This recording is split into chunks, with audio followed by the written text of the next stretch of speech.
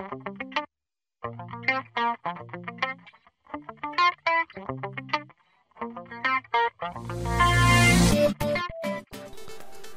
मित्रांनो genius science YouTube चॅनलमध्ये आपलं खूप खूप स्वागत आहे. तसेच देवव्रत अकॅडमी या यूट्यूब चॅनलमध्ये सुद्धा आपलं खूप खूप स्वागत आहे. या व्हिडिओमध्ये आपण अभ्यासणार आहोत ह्युमन फिमेल रिप्रोडक्टिव्ह सिस्टम म्हणजे मानवी स्त्री प्रजनन संस्था. तर या व्हिडिओमध्ये टेक्स्ट हा इंग्रजीमधून असेल आणि एक्सप्लेनेशन मात्र मराठीमधून देईल जेणेकरून की आपणास प्रत्येक विद्यार्थ्याला पूर्णतः ते एक्सप्लेनेशन समजेल. तर यासाठी आधार म्हणून आपण आपल्या चॅनलवर असलेला मानवी स्त्री प्रजनन संस्था हा मराठीचा सुद्धा व्हिडिओ आपण निश्चित पाहायला विसरू नका. कारण का तो व्हिडिओ जर पाहिला तर हा व्हिडिओ तुम्हाला समजायला सोपा जाईल आणि हा व्हिडिओ पाहिला तर तो व्हिडिओ समजायला सोपा जाईल. म्हणजे दोन्हीही तुम्हाला उपयोग होईल. तर मित्रांनो आतापर्यंत या चॅनलवर आपण जर प्रथम असाल तर लागलीच चॅनल सबस्क्राईब करा. त्याच्या बाजूला येणारी एक बेल असते ती बेलसुद्धा व्यवस्थितरित्या दाबा. जेणेकरून इथून पुढं अपलोड केलेल्या प्रत्येक व्हिडिओचं नोटिफिकेशन आपल्या मोबाईलवर येईल तुमच्या कॉम्प्युटरमध्ये येईल आणि तुम्ही प्रत्येक व्हिडिओ तुम्ही पाहू शकाल. मित्रांनो व्हिडिओला लाईक करा कॉमेंट करा आणि आपल्या मित्रांपर्यंत त्याची लिंक पोहोचविण्याचा प्रयत्न करा. जेणेकरून की चांगल्या बाबी ह्या आपण निश्चितच आपण सगळ्या मित्रांना वगैरे आपण पोहोचवत असतो. तर चला पाहूया आपण ह्युमन फिमेल रिप्रोडक्टिव्ह सिस्टम आता काय आहे? चला. तर प्रथमतः एक आपणास मी छोटीशी एक इमेज देत आहे. इथे एक छोटीशी फिगर तुमच्यासाठी मी दिलेली आहे. तर या फिगरमध्ये सविस्तररित्या प्रत्येक आपल्या म्हणजे फिमेल रिप्रोडक्टिव्ह रिप्रोडक्टिव्ह सिस्टीम असेल किंवा फिमेलच्या शरीरातल्या ॲबडॉमिनल कॅव्हिटीमध्ये असणारे काही जे घटक आहेत त्या घटकांची वेगवेगळी नावं आहेत. ते नावं इथे इंग्रजीमधून तुमच्यासाठी ठेवलेले आहेत. ते एक एक नाव तुम्हाला मी वाचून दाखवतो आणि फिमेल रिप्रोडक्टिव्ह सिस्टीम ॲक्च्युली आपल्या शरीरामध्ये कोणत्या ठिकाणी असते ते आपण इथं पाहूया. तर हा आहे युरिनरी ब्लॅडर हा एकदम म्हणजे आपल्या युटेरसच्या खालच्या बाजूला असणारा हा भाग आहे. म्हणजे किडनीकडनं येणारं जे काही रक्त जे काही ब्लड असतं सॉरी जे काही युरिन असतं ते युरिन पूर्णतः या युरिनरी ब्लॅडरमध्ये जमा होत असतं. त्यात अशा स्वरूपामध्ये इकड दोन किडनीकडनं येणारे हा युरिनरी ब्लॅड ब्लॅडरकडे येणारे हा युरिन असतो यांच्याद्वारे. त्यानंतर पुढं पाहूया आपण मॉन्स प्युबिस हा पुढचा भाग आहे हा शरीराचा थोडासा मांसल भाग त्यानंतर प्युबिक सिम्फायोसिस त्यानंतर हा क्लिटोरिस जेणेकरून की प्रजनन संस्थेमधला हा अत्यंत महत्त्वाचा असणारा हा घटक आहे. उद्दीपनासाठी म्हणजे एक इमोशन्स करण्यासाठी इमोशन्स करण्यासाठी हा निसर्गानं स्त्रीच्या शरीरामध्ये दिलेला हा एक छोटासा घटक आहे. It is as like a male penis मेलच्या पेनिससारखा हा छोटासा भाग असतो. त्यानंतर हा युरेथ्रा जेणेकरून की लघवी याच्याद्वारे जे युरिन शरीराच्या बाहेर वाहून आणलं जातं याला आपण युरेथ्रा म्हणतो. त्यानंतर युरेथ्रल ओपनिंग म्हणजे ही युरेथ्रल ओपनिंग आहे इथून लघवी शरीराच्या बाहेर फेकली जाते. लॅबिया मॅजोरा लॅबिया मॅजोरा त्यानंतर लॅबिया मायनोरा या स्वरूपामध्ये असणारा. It is in between femurs okay त्यानंतर वेस्टिब्यूल वेस्टिब्यूल ऑफ वजायना हा इथला भाग. त्यानंतर वजायनल ओपनिंग ह्या वजायनल ओपनिंग आहे लक्षात घ्या. वजायनल ओपनिंग आहे. याद्वारे स्पर्म शरीरामध्ये प्रवेश करत असतो गर्भाशयाकडे तो जात असतो युटेरसकडे तो जात असतो. त्यानंतर anus it is useful to throw out the faecal matter from body त्यानंतर रेक्टम हा मधला रेक्टम भाग आहे. म्हणजे ह्या आतड्यांकडनं येणारं फिकल मॅटर यामध्ये जमा होत असतं. आणि पुन्हा गरजेनुसार आपण शरीराच्या बाहेर त्याला फेकत असतो. त्यानंतर अंटी एंटेरियर फॉर्निक्स हा अंटेरियर फॉर्निक्स आहे मधला. त्यानंतर external O S of uterus external O S हा external O S of uterus uterus म्हणजे गर्भाशय. ज्यामध्ये गर्भाची वाढ होत असते एम्ब्र्यूची वाढ होत असते नवजात शिशूची या ठिकाणी वाढ होत असते. त्यानंतर पोस्टेरियर फॉर्निक्स हा पुढ हा पोस्टेरियर फॉर्निक्स त्यानंतर रेक्टो युटेरिन पाऊच हा इथे असणारा. त्यानंतर एंडोमेट्रियम इथं हा सांगितलेला पूर्ण म्हणजे एंड्रोमेट्रियम जसजसा गर्भाशयाची वाढ होत जाईल तशा तशा स्वरूपामध्ये याचा आकार बदलत जातो. बॉडी ऑफ युटेरस या युटेरसची पूर्णता असणारी ही बॉडी आहे.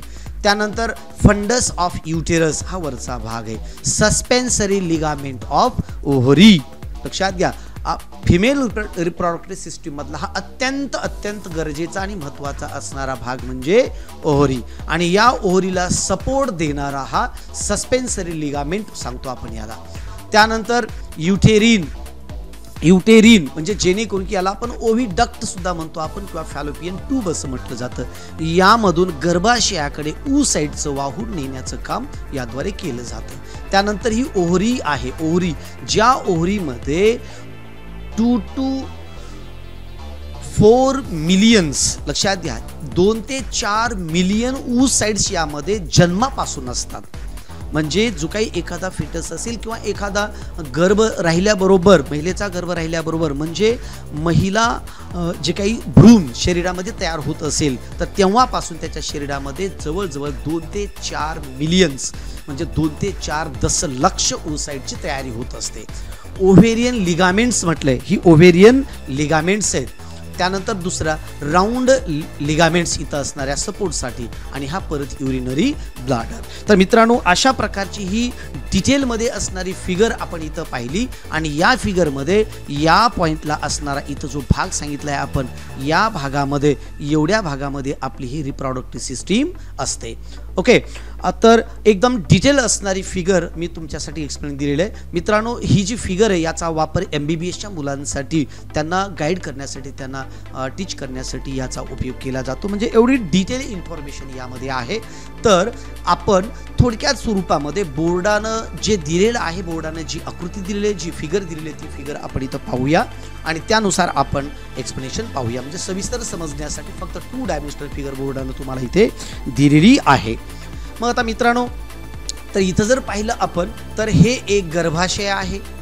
ओके हे प्रत्येक स्त्रीमध्ये असतं.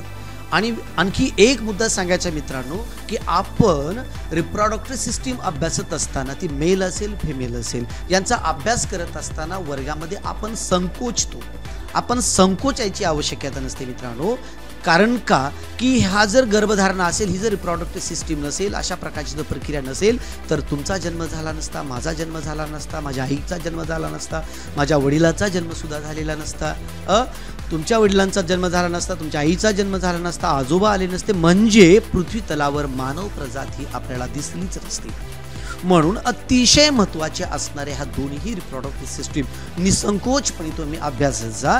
तुमच्या शिक्षकांना तुम्ही यावरचे वेगवेगळे प्रश्न विचारा तुमच्या अडचणी विचारा तुमच्या शंका विचारा. कारण का? ही जी प्रक्रिया आहे ही प्रक्रिया माझ्या आईच्या शरीरामध्ये सुद्धा आहे माझ्या बायकोच्या शरीरामध्ये आहे माझ्या मुलीच्या शरीरामध्ये आहे माझ्या बहिणीच्या शरीरामध्ये आहे. आणि तुम्ही जर हे व्हिडिओ पाहणारे जर तुम्ही जर महिला असाल मुलगी असाल तर तुमच्या शरीरामध्ये आहे तुमच्या आईच्या शरीरामध्ये आहे. मेल रिप्रॉडक्टिव्ह सिस्टीम असेल तर तुमच्या भावाच्या शरीरामध्ये आहे तुमच्या वडिलांच्या शरीरामध्ये आहे. निसर्गानं प्रत्येक स्त्री पुरुषाला त्यांच्या त्यांच्या स्वरूपामध्ये ती सिस्टीम दिलेल्या आहेत.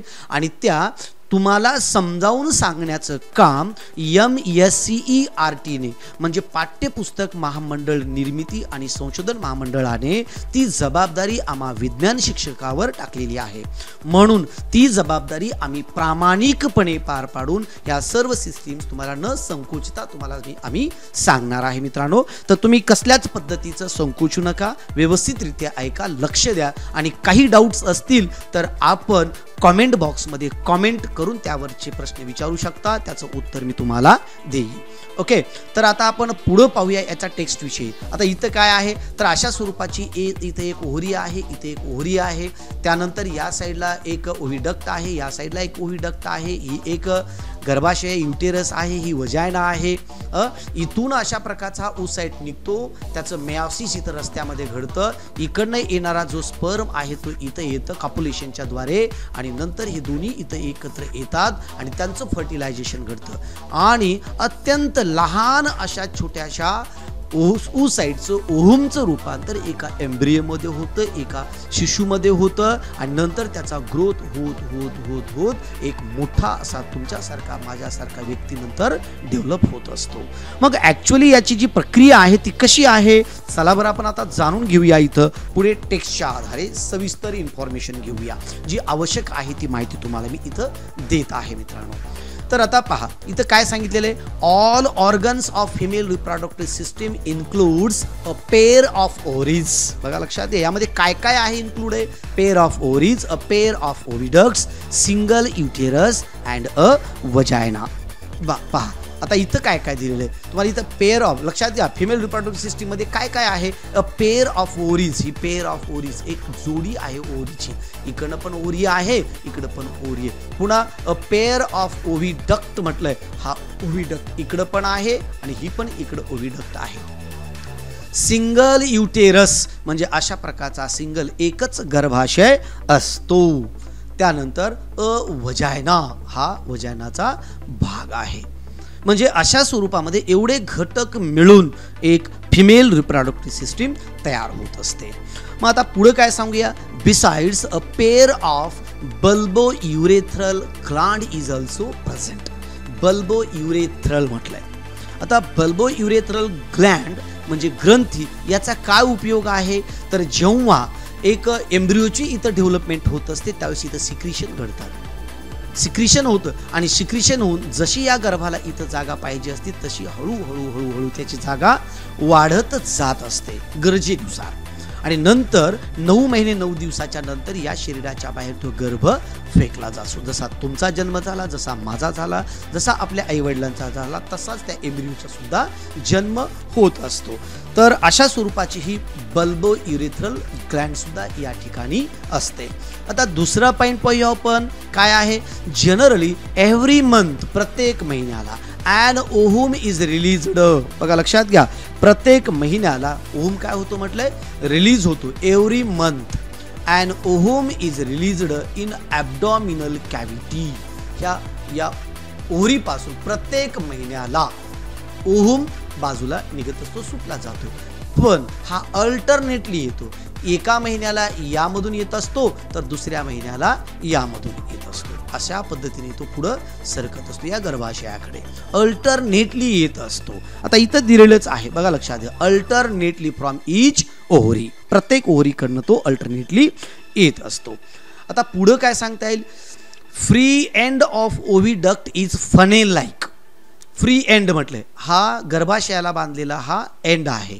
ओव्हिडक्टचा आणि इकडचा हा फ्री एंड आहे. काय असतो? Funnel like okay and opening is present at the centre of it त्याच्या सेंटरला एक छोटीशी ओपनिंग असते म्हटलंय. म्हणजे इथल्या बाजूला एक छोटीशी ओपनिंग असते. हा नरसाळ्यासारखा भाग हा वरचा भाग आहे आणि हा याच्या बाजूचा पलीकडचा भाग इथे दिसत नाही. तर असा हा नरसाळ्यासारखा भाग असतो आणि हा फनेल लाईक जसं आपण एखाद्या चिमणीला वगैरे रॉकेल भरण्यासाठी एखादं किंवा पेट्रोल डिझेल भरण्यासाठी बऱ्याच वेळेस फनेलचा वापर केला जातो. तर फनेल लाईक स्ट्रक्चर असतं आणि यामध्ये इथून निघालेला जो ऊ साईट आहे तो फनेलमध्ये जातो छोट्या ओपनिंगमध्ये तो मध्ये जातो. Centre of it oocyte enters the oviduct through that opening त्या ओपनिंगमधून तो ओव्हिडक्ट म्हणजे ओव्हिडक्टमध्ये तो ओसाईट जात असतो. मग cilia are present on the inner surface of oviduct cilia म्हणजे छोटे छोटे प्रोजेक्शनल पार्ट्स असतात हे. आणि हे सातत्याने हालत राहतात. फिरत राहतात ते. आणि म्हणून इथं येणारा जो ऊसाईट आहे तो पुढं ढकलण्याचं काम हे कोण करतात? या सिलियाय करत असतात. आणि या सिलियायद्वारे ओहिडक्टमधून तो ओहूम अशा पद्धतीने तो पुढं सरकतो ऊसाईट पुढं सरकतो. मग पुढं काय होतं? Inner surface of the these cilia push the oocyte towards the uterus या युटेरसकडे तो फेकला जातो. आणि म्हणून इथून बाहेर पडल्याच्या नंतर त्याची मियासिसची प्रक्रिया सुरुवात होती त्या ऊ साईडची आणि नंतर तो गॅमेटमध्ये त्याचं रूपांतर होतं. आणि इकडून मात्र एबल असणारा फर्टिलायझेशनसाठी एबल असणारा जो काही स्पर्म येतो इथे इथे येत असतो आणि इकडून इकडनं येणारा ऊ साईड आणि इकडनं येणारा स्पर्म म्हणजे उहुम इथं येतो. त्याचं ऊ साईडचं उहुममध्ये रूपांतर होतं आणि नंतर यांचं इथं फर्टिलायझेशन घडून येतं आणि एक एम्ब्रिओ तयार होत असतो इथे. आता पुढं पाहूया आपण काय सांगितलं मित्रांनो यामध्ये. तर पहा तर गॅमेट फॉर्मेशन म्हणजे शरीरामध्ये गॅमेट कसा तयार होतो ते आपण इथं पाहूया. तर पहा बोथ गॅमेट्स आता बोथ म्हणजे कोणते? Sperm and ovum are formed by meiosis आताच सांगितलं तुम्हाला. स्पर्मसुद्धा मिऑसिसने मिओसिसने टेस्टिसमध्ये तयार होतो आणि ओहूम हा ओव्ही डक्टमध्ये ऊ साईडचं रूपांतर ओहूममध्ये होतं. हे दोन्ही गॅमेट्स पुन्हा एकत्र येतात आणि त्यांचं फर्टिलायझेशन होतं. Sperms are produced in testis टेस्टिसमध्ये sperm तयार होतात पण केव्हा? Of men from beginning of maturation जेव्हा एखादा मूल मॅच्युअर होतं जेव्हा मुलगा मॅच्युअर होतो तेव्हा त्याच्या टेस्टिसमध्ये स्पर्मचं जनरेशन तयार होत असतं. पण कुठपर्यंत? Up to the end of death मृत्यूपर्यंत ही प्रक्रिया चालू असते. आणि स्त्रियांच्या मात्र स्त्रियांच्या शरीरामध्ये मात्र थोडीशी वेगळी प्रक्रिया घडते. कशी? However in case of woman at the time of birth म्हणजे जन्माच्या वेळी काय? There are four to five million immature oocytes in the ovary of female foetus म्हणजे फिमेल फॅटस म्हणजे जे गर्भधारणा झालेली समजा महिला गर्भ जरी असेल शरीरात तर त्याच्या शरीरामध्ये दोन ते चार मिलियन्स जशी लक्ष इतक्या ऊ साईडची ओहरीमध्ये तयारी होऊन बसलेली असते. पण मेलमध्ये मात्र मॅच्युरेशनच्या नंतरच स्पर्म तयार होतो. आणि नंतर मृत्यूपर्यंत राहतो. पण इथं मात्र जन्मापासून वयाच्या पंचेचाळीस ते पन्नास वर्षापर्यंत हे चांगल्या अवस्थेमध्ये राहू शकतात. आणि मग पुढं म्हटलं immature oocyte in the ovary of female foetus म्हटलंय. त्यानंतर पुढं पहा. पुढं an oocyte matures and is released from ovary every month from the beginning of maturity up to the age of menopause approximately forty five years of age म्हणजे जेव्हा इथला हा ओ site शरी शरीराच्या बाहेर फेकला जातो. बघा लक्षात घ्या. Oocyte matures and released from the ovary. ओ या ओहरीपासून तो निघतो. पण केव्हा? एव्हरी मंथ प्रत्येक महिन्याला. पण कसा? अल्टरनेटली एका महिन्याला इकडनं येतो तर एका महिन्याला इकडनं येत असतो. पुढच्या महिन्याला. आणि पण केव्हा? फ्रॉम बिगिनिंग ऑफ मॅच्युरिटी म्हणजे मासिक पाळी सुरू झाल्यापासून ते वयाच्या पंचेचाळीसाव्या वर्षापर्यंत हा ऊसाईट असा इकडे येत असतो. परंतु वयाच्या पंचेचाळीस ते पन्नास वर्षादरम्यान मात्र बऱ्याच महिलांच्या शरीरातली मासिक पाळी बंद होत असते. म्हणजे मेनेस्ट्रल सायकल बंद होत असते आणि त्या प्रक्रियेला आपण मेनोपॉज असे म्हणतो आपण. मेनोपॉज म्हणजे मेनिस्ट्रल सायकलला पॉज मिळतो त्या ठिकाणी. ती स्टॉप होत असते. मग आता पुढं काय सांगूया आपण मित्रांनो? आता पुढचा भाग यामध्ये मेनोपॉजला मराठीमध्ये रजोनिवृत्ती असं सुद्धा म्हटलं जातं. आता पुढं काय सांगितलं पहा. Menopause is the stopping of functioning of female reproductive system female reproductive सिस्टीमचं working तिथे स्टॉप होत असतं. At the age of about forty five to fifty years जवळजवळ पंचेचाळीस ते पन्नास वर्षाच्या दरम्यान पूर्णतः ते तिथे स्टॉप होत असतो. कशामुळे स्टॉप होत होतो? तर इथं सांगितलंय आपणास या ठिकाणी पहा. इथं सांगितलं बा secretion of hormones controlling the functions of female reproductive system काही हार्मोन्स असतात त्यांचं सिक्रिएशन तिथं स्टॉप होतं. आणि फिमेल रिप्रोडक्टिव्ह सिस्टीमचं जे काही काम आहे ते पंचेचाळीस ते पन्नास वर्षाच्या दरम्यान काही स्त्रियामध्ये पंचेचाळीसला काहीमध्ये सेहेचाळीस सत्तेचाळीस अठ्ठेचाळीस एकोणपन्नास पन्नास. या एजमध्ये तो बंद होत असतो. आणि तिथं कसल्याच पद्धतीची गर्भधारणा होत नाही. पण पृथ्वीतलावर काही रेरर अशा काही घटना घडलेल्या आहेत की पन्नास पंचावन्न नंतर सुद्धा काही महिलांची गर्भधारणा झालेली आहे. ती तुरळक अशा प्रकारच्या ह्या घटना घडत असतात. आणि अशा प्रकारच्या पंचेचाळीस ते पन्नास वर्षाच्या दरम्यान ही जी काय एम सी स्टॉप होण्याची प्रक्रिया असते त्याला आपण मेनोपॉज असे म्हणतो. तर अशा स्वरूपामध्ये हा मेनोपॉज आणि ही रिप्रॉडक्टिव्ह सिस्टीम आपण सविस्तररित्या इथे अभ्यासलेली आहे. मित्रांनो हा व्हिडिओ तुम्हाला निश्चितच आवडला असेल तर याला लाईक करा कॉमेंट करा मला माहिती सांगा. त्यानंतर जिनियस सायन्स यूट्यूब चॅनल आणि देवव्रत अकॅडमी हे दोन्ही यूट्यूब चॅनल आपण सबस्क्राईब करा. त्याची बेल आयकॉन आयकॉन प्रेस करा आणि येणाऱ्या प्रत्येक व्हिडिओचं नोटिफिकेशन तुमच्या मोबाईलवर मिळाल्यानंतर ही व्हिडिओज तुम्ही पहा. दोन्ही व्हिडिओज पहा मराठी पहा आणि इंग्लिश मिडियमचे पहा. दोन्ही व्हिडिओ जर तुम्ही पाहिला तर तुम्हाला व्यवस्थितरित्या चांगल्या स्वरूपामध्ये निश्चितच समजेल आणि हो आणखी एक महत्त्वाचं सांगायची बाब म्हणजे की हा व्हिडिओ आपल्या मित्रांपर्यंत निश्चितच पोहोचवा. याची लिंक त्यांच्यापर्यंत शेअर करा. कारण का? चांगल्या बाबी आपण सगळ्यांनाच दाखवत असतो. आणि म्हणून मित्रांनो लाईक करायला मात्र विसरू नका. याच्यानंतर नंतरचा जो व्हिडिओ आपण पाहणार आहोत तो व्हिडिओ राहणार आहे फर्टिलायझेशनचा ज्याला मराठीमध्ये फलन असे म्हणतात. म्हणजे आत्ताच आपण पाहिलेला आहे की ओहरीपासून येणारा ओसाईट त्याचं रूपांतर ओहममध्ये होतं आणि येणारा स्पर्म दोन्हीचं फर्टिलायझेशन होतं. तो फर्टिलायझेशन प्रक्रिया आपण पुढील व्हिडिओमध्ये पाहूया. तोपर्यंत या व्हिडिओसाठी आपण इथंच थांबूया. हा व्हिडिओ आपण पूर्ण शेवटपर्यंत पाहिला त्याबद्दल धन्यवाद. मित्रांनो तर या व्हिडिओसाठी आपण इथंच थांबूया. जय हिंद जय भारत.